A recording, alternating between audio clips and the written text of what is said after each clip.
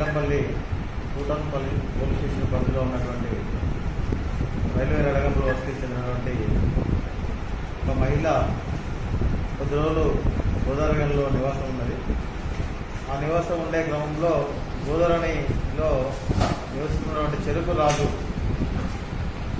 ఇతను ఆమెకు పరిచయం అయ్యాడు. పరిచయం గ్రౌండ్లో ఆమె అతని దగ్గర తీసుకోగా ఆమెకున్న ఆమె భర్తకి బాగాలేదు మీకు పూజలు చేసిన ఏముందని చెప్పేసి చెప్పి అక్కడ ఆమె కొన్ని పూజలు చేసి కొంత అమౌంట్ తీసుకున్నాడు.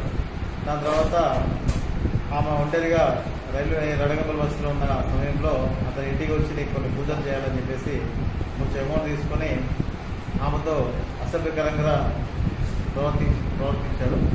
దీని మీద ఆ యొక్క మహిళ ఇచ్చినటువంటి ఫిర్యాదు మీద కేసు నమోదు చేసి దర్యాప్తు చేశాం. ఈరోజు ఈ యొక్క చెరుకు రాజును సన్నాహుడయ్య వయసు ముప్పై ఐదు సంవత్సరాలు మరో గోదావరి తన్ని అరెస్ట్ చేయడం జరిగింది. తన్ని అరెస్ట్ చేసి విచారించగా అతని మీద గతంలో గోదావరి వన్ టౌన్ పోలీస్ స్టేషన్లో కూడా ఇలాంటి చీటింగ్ మరియు బ్లాక్ మ్యాజిక్ యాక్ట్ కింద కేసు నమోదైనది మరియు ఈ నెలలోనే గత నెలలో కూడా ఒకటి చిన్న అబ్బాయితో మిస్బిహేవ్ చేయడం వల్ల ఒక పోక్సో కేసు నాకు కూడా నమోదయ్యిందని చెప్పేసి తెలిసింది.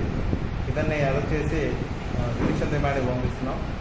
ప్రజలందరికీ కూడా పోలీస్ శాఖ తరఫున విన్నపం.